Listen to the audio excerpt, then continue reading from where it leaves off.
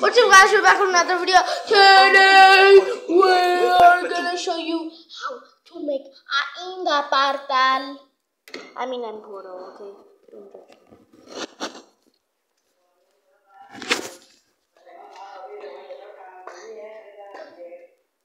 I'm gonna on a song called Sweet But Psycho.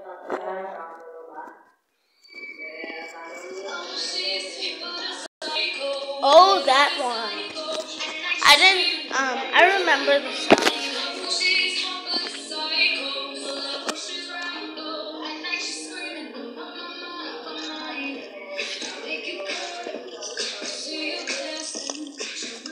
Uh, so, I will show you how to make an end portal. Holy crap, there's a flipping zombie village. So this is how to do it.